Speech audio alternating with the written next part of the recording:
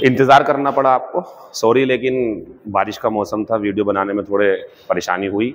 लेकिन जो वादा किया है, वो पूरा करना बहुत ज़्यादा ज़रूरी है। मैं अपनी इस वीडियो में कुछ ख़ास बातें बताने वाला हूँ जो चेंज हुए हैं। एक चेंज हमारा एज लिमिट का हुआ है और एक चेंज हमारा हुआ है निगेटिव मार्किंग का। ये दोनों चेंज हर कैंडिडेट के लिए बराबर महत्व रखते हैं। इसकी पॉजिटिविटी और निगेटिविटी दोनों के लिए बराबर है। लेकिन मैं कहूँगा, जो एज लिमिट का फैक्ट है, वो कुछ बच्चों के लिए खुशखबरी लाया है, क्योंकि इससे पहले जो एसएससी एज लिमिट रखती थी, वो साल का पहला दिन, यानी कि एक जनवरी 2023 रखती, उससे पहले के लेती, लेकिन इस बार ऐसा नहीं हुआ। तो ये अच्छी खबर है आपके लिए। दूसरा निगेटिव मार्किंग जैसे आप बुरा समझ रहे होंगे, लेकिन ये चीज़ ऐसी होती है कि ये हर कैंडिडेट को अफेक्ट करती हैं, किसी पार्टिकुलर को नहीं। ऐसा नहीं है कि जो कुछ लोग हैं उन्हें फ़ायदा मिल जाएगा, सबके लिए बराबर रहेगा। तो एस एस सी स्टेनोग्राफर 2023 की जो की फीचर्स हैं, एक ऑनलाइन डेट बताने वाले हैं हम एज लिमिट के बारे में निगेटिव मार्किंग के बारे में टोटल पोस्ट और स्ट्रेटजी क्या हो कि हमें सफलता मिली जाए।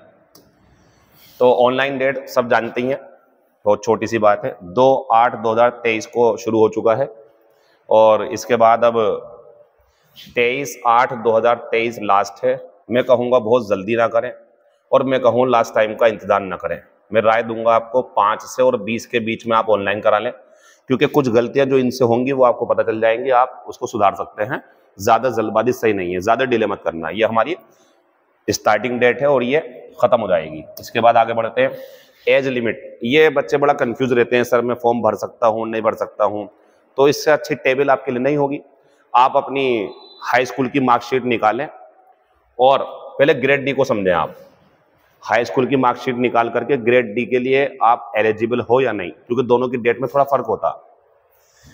तो अगर आपकी उम्र दो आठ उन्नीस है, इसके नीचे को फिर तीन, चार, पाँच, आठ, छियानवे और एक आठ दो हज़ार पाँच, इसके बीच में अगर आपकी एज या बर्थडे पड़ता है, अगर इसके बीच में आपका जन्म हुआ हो तो आप एलिजिबल हैं, आप एसएससी स्टेनोग्राफर का एग्ज़ाम दे सकते हैं। लेकिन अगर आपकी उम्र इससे पीछे को जा रही है, यानी कि दो आठ उन्नीस सौ छियानवे ना हो करके, एक आठ उन्नीस सौ छियानवे हो, इकतीस सात उन्नीस सौ छियानवे हो, और पीछे को चले जाओ आप यहाँ से तो फिर आप ये फॉर्म नहीं भर पाएँगे, आपके लिए एलिजिबिलिटी नहीं है, इसीलिए रेड मार्कर से लिखा गया है, क्योंकि आपके लिए खतरा है, आप नहीं कर पाएँगे। इससे आगे नहीं जाना चाहिए आपको। आप एक आठ दो हज़ार पाँच से पीछे पैदा हुए हो, लेकिन अगर आप इससे आगे चले गए दो आठ दो हज़ार पाँच, तीन आठ दो हज़ार पाँच तो फिर आप रहने दें, आपका नहीं हो पाएगा। अब बात आती है ग्रेड सी के लिए तो इसमें जो लिमिट है, वो पहले वाली है, सेम 18 साल के लिए। और उसकी क्या है, दो आठ उन्नीस सौ तिरानवे, आपकी डेट ऑफ़ बर्थ है अगर तो आप समझ जाइए कि आप एलिजिबल हैं, ये वाले एलिजिबल हैं। लेकिन इसके नीचे फिर एलिजिबल रहेंगे, इसके नीचे एलिजिबल रहेंगे। इसमें एक चीज़ देखने की यह है कि यहाँ एक आठ दो हज़ार पाँच है, लेकिन यहाँ छियानवे और तिरानवे का फ़र्क है, क्योंकि इसमें तीस साल तक छूट दी गई है सभी कैंडिडेट्स को जनरल वगैरह सबको। लेकिन इसमें सत्ताईस साल होती है तो इसलिए आपको दिख रहा होगा यहाँ छियानवे और यहाँ तिरानवे।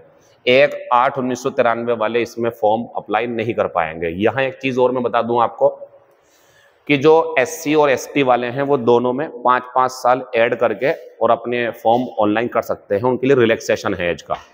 ऐसे ही तीन साल का ओबीसी के लिए है, ये जनरल कैटेगरी के लिए था। फिर दोहरा दूँ मैं, दो आठ उन्नीस सौ तिरानवे, तीन आठ उन्नीस सौ तिरानवे, चार आठ उन्नीस सौ तिरानवे है।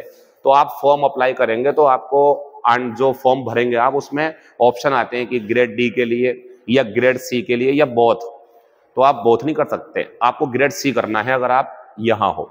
लेकिन अगर आप इसके अंदर हो तो आप सी और डी दोनों को फॉर्म भरेंगे, ठीक?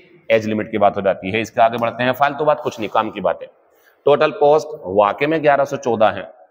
ग्रेड सी की 93 है। यहाँ क्या परेशानी हो रही है आपको? यहाँ इतने ज़्यादा आपके अंदर उदासी क्यों है? क्यों आप निराश हो इस चीज़ के लिए? क्या आप पिछली वाली पोस्ट को देख रहे हो, जो उनतालीस के करीब आई थी? ठीक है, फिर आप सही निराश हो रहे हो। इसके पीछे नहीं जा सकते आप। इसके पीछे जब आप जाओगे तो आप पाओगे कि 400 वैकेंसी आई थी। बच्चों ने तब भी तैयारी की, बच्चों का सिलेक्शन तब भी हुआ। किन का? जिन्हें पोस्ट से मतलब नहीं होता है। और पता, कितनी पोस्ट से मतलब नहीं होता उन्हें? आप ये हटा दीजिए। वो अब भी जॉब लेके जाएँगे, जिनकी जिद है। 111 वैकेंसी टोटल अगर डी में आ जाए, तब भी जॉब लगेगी उनकी। यहाँ दो आप, इसे हटा दो। तीन सिर्फ़ ग्रेड सी में, अब भी जॉब लगेगी, ये मज़ाक नहीं है।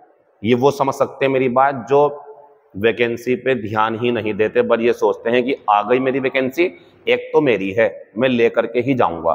बस यही स्ट्रेटजी और कुछ स्ट्रेटजी नहीं है। जो सॉलिड स्ट्रेटजी है वो यही है। यार, मुझे तो एक जॉब चाहिए। होंगे दुनिया में कितने लोग? मुझ जैसा कोई नहीं है। मेरी तैयारी तो ऐसी है कि मैं रोज़ाना एसएससी स्टेनोग्राफर के प्रैक्टिस सेट लगा रहा हूँ, चार चार, पाँच पाँच। मैं रोज़ाना चार रीजनिंग के सेट लगा रहा हूँ। मैं रोज़ाना 200 200 300 300 क्वेश्चन इंग्लिश के कर रहा हूँ 500 क्वेश्चन जीएस के कर रहा हूँ। कौन रोकेगा आपको? मैं तो ये कहूँगा, इन सबको हटवा दो, आप सबको जितनी भी हैं। एक वैकेंसी यहाँ कर लो, एक यहाँ कर लो। आपकी है वैकेंसी है क्यों आप इतने निगेटिव एस्पेक्ट अपनाते हो? क्यों निगेटिविटी की तरफ़ जाते हो आप लोग?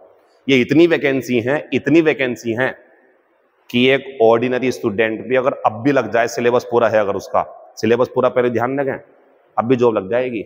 लेकिन आप लोगों के अंदर निगेटिव चीज़ें देखने का ज़्यादा शौक होता।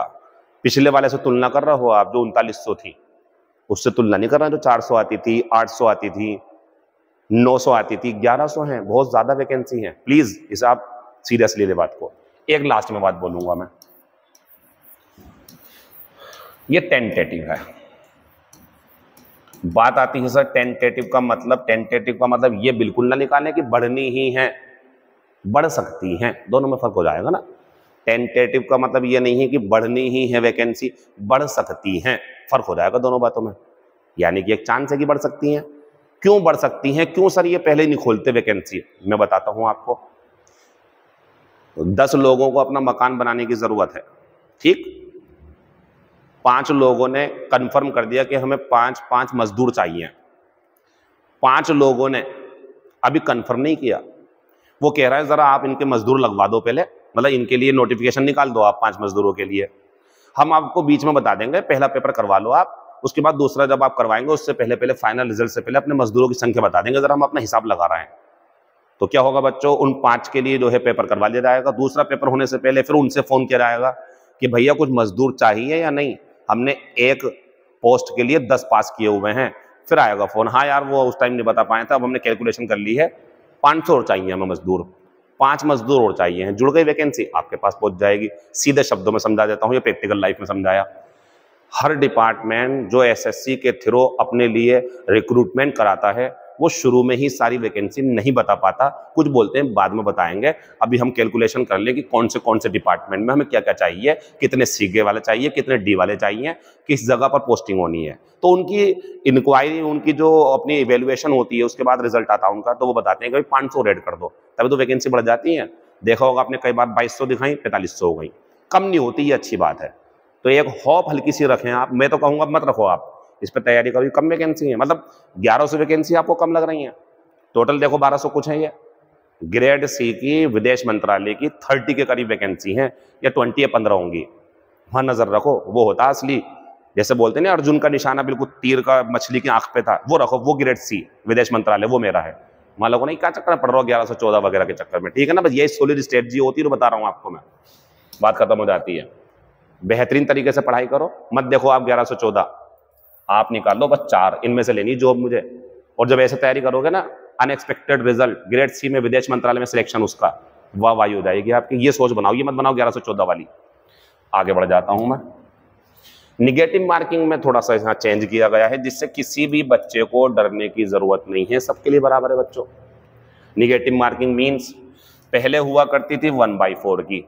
इसका मतलब क्या हुआ? आपने एक क्वेश्चन सही करा नंबर मिल गया। दूसरा सही करा नंबर मिल गया। तीसरा सही करा, नंबर मिल गया। चौथा सही करा, नंबर मिल गया। आपका पांचवा गलत हो गया। अब आपके पॉइंट टू फाइव नंबर काट लिए जाएँगे। मान लीजिए कि आपके चार गलत हो गए अगर तो जो आपका सही था, वो नंबर खत्म हो जाएगा। कहने का मतलब ये है कि एक क्वेश्चन गलत होने पर पॉइंट टू फाइव जाते थे पहले। सबके जाते थे, किसी के साथ ऐसा तो नहीं था कि सर मेरे नंबर नहीं कटे निगेटिव मार्किंग के, या मेरे नंबर सर पूरा आ गए, ऐसा नहीं हुआ होगा कभी। सबके बराबर कटते हैं। अब ये एक वन बाई फोर ना होकर के ये होगा वन बाई थ्री। यानी कि अब जो आपका स्कोर बनेगा, जो माइनस होंगे, वो पॉइंट थ्री थ्री लगभग होंगे। पॉइंट थ्री थ्री फोर इस टाइप से करके, ठीक? तो अब निगेटिव मार्किंग हमारी वन बाई थ्री की हो गई है। क्या इससे कोई डरने की ज़रूरत है? क्या डरने की ज़रूरत है इससे? सॉरी नहीं, इससे डरने की ज़रूरत क्या है? ये वन बाई टू करवा लो आप। मेरिट नीचे आएगी। लेकिन मेरिट आपके नीचे नहीं आएगी, सबके नीचे आएगी। मेरिट के ऊपर कई सारी चीज़ें डिपेंड करती है। पेपर कैसा बना नॉर्मलाइजेशन कैसा हुआ वैकेंसी बढ़ी नहीं बढ़ी शॉर्ट हैंड का क्या स्तर रखना चाहते हैं, वो शॉर्ट हैंड मुश्किल रहता है। बहुत सारी चीज़ें हैं, बहुत सारे फैक्टर है इसके लिए। फ़िलहाल मैं इतना कहूँगा निगेटिव मार्किंग से कोई भी निगेटिविटी अपने दिमाग में ना लाएँ। बस इतना समझ लें। पहले एक क्वेश्चन गलत होने पे पॉइंट टू फाइव जाते थे। कोई बात नहीं ना, सबके जाते थे, आपके भी जाएँगे। आज भी पॉइंट थ्री थ्री के लगभग जाएँगे, लेकिन सबके ही जाएँगे। प्लीज़ ऐसी जगह दिमाग लगाया करो जहाँ दिमाग लगाने की ज़रूरत पता का दिमाग ये लगाओ कि डेढ़ सौ के पार कैसे लेके जाऊँ अपना। दिमाग ये लगाओ कि रीजनिंग में फोर्टी फाइव प्लस कैसे लेके जाऊँ। दिमाग ये लगाओ कि इंग्लिश में नाइन्टी प्लस कैसे करूँ। दिमाग ये लगाओ कि जीएस में थर्टी प्लस कैसे लगा यहाँ क्यों दिमाग लगा रहा हो? ये दिमाग लगाने का काम एसएससी का है, वो कर लेगी अपना काम। लेकिन हाँ नज़र रखो कितनी वैकेंसी आई है, क्या है किसमें कितनी है, विदेश मंत्रालय मेरा है, वो उसमें कितनी है डिफेंस में कितनी है, दिल्ली में रुकना है, मुझे यूपीएससी की तैयारी करनी है, कितने, मुझे वहाँ पे नंबर लाने पड़ेंगे उसके, दिल्ली में पोस्टिंग मिल जाए ताकि मैं आगे पढ़ाई कर सकूँ। ये बातें ध्यान रखो, ये क्या ध्यान रखने की बातें हैं? ध्यान रखने की बातें हैं ये? आगे चलते हैं। अब आती है बच्चों स्ट्रेटजी बता दो सर कोई सी।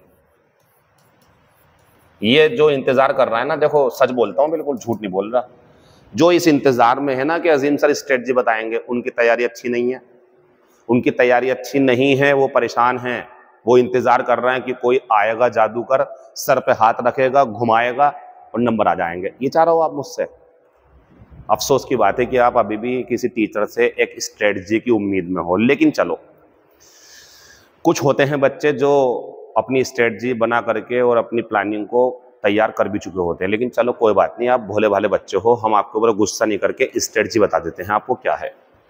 टाइम जितना बचा हुआ है हमारे पास में, अगर देखा जाए पेपर को लेकर के तो आज हमारी दो या तीन अगस्त है, तीन सितंबर, तीन अक्टूबर, लगभग दो महीने। तो मैं कहता हूँ कि हमारे पास साठ दिन बाकी हैं। साठ दिन ही मान लो आप लोग।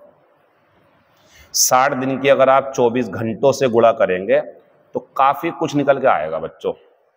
चौबीस धुनी अड़तालीस धुनी बेहत्तर, एक सौ चौवालीस, लगभग चौदह सौ चालीस घंटे आएँगे। इसे देखो आप, ये मुझे लगता हो सकता है ऊपर नीचे हो गया हो, लेकिन आप देख लेना इसे, ठीक है? 1440 घंटों के हिसाब से तैयारी करो ना आप। क्यों कर रहा हो? सात दिन के हिसाब से। कम है वो इस पे इस पे ध्यान दो। 1440 घंटे में आप मान लीजिए 440 घंटे सो जाओगे, सो ज़रूरी है वो।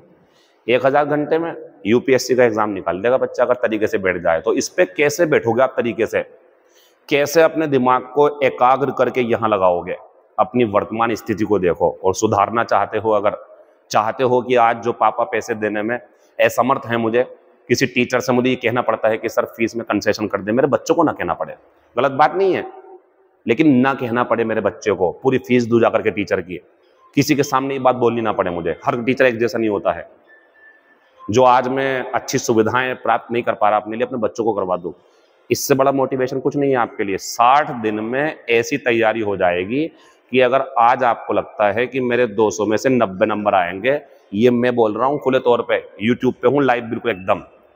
गारंटी से बोल रहा हूँ, ये 60 दिन 1440 घंटे नींद के निकाल करके एक हज़ार घंटे अगर आप सही से लग जाओ, एक सौ नब्बे नंबर आएँगे आपके। कहाँ से समझेंगे, चीज़ें चीज़ें क्या आएँगी? प्रीवियस ईयर पढ़ो आप। प्रीवियस ईयर के क्वेश्चन देखो कैसे आ रहे हैं। लास्ट वाले ज़रूर देखो जो टीसीएस करवा रहा है जीएस में किस तरीके के क्वेश्चन आ रहे हैं। रीजनिंग में वो कहाँ काम कर रहा। इंग्लिश में कहाँ काम कर रहा। इंग्लिश में मैं भी आपके साथ लगा हूँ अपने अनुभव के साथ में। मॉक टेस्ट मत छोड़ो, हमारे फ्री के हैं, आपके लिए कोई फ़ीस नहीं है उसके लिए। आप पढ़ो एंजॉय करो। मेरी बातें ख़त्म हो गई हैं। दो चीज़ों पर मैंने सबसे ज़्यादा ध्यान दिया। वो ये कि वैकेंसी से आपको क्या प्रॉब्लम है? ग्यारह सौ वैकेंसी चाहिए थी, तुम्हें चार हज़ार आएँगे तो तुम्हें वैकेंसी चाहिए थी। ये उनकी बातें हैं जिनमें काबिलियत कम है, जिनमें खुद में क्षमता नहीं है, बल्कि चाहते दूसरा कोई आकर के कटोरे में डाल जाए वैकेंसी भैया इतनी सारी ले लो। ऐसा करोगे आप? कोई अभिमान नहीं है आपका? ताकत, अपने दिमाग, अपनी एनर्जी को, अपनी क्षमताओं को माँ बाप के सपनों को, वर्तमान स्थिति को एक मुट्ठी में बंद करके और लग जाओ अभी से। इससे ज़्यादा नहीं बोल पाऊँगा। Thank you all the best see you tomorrow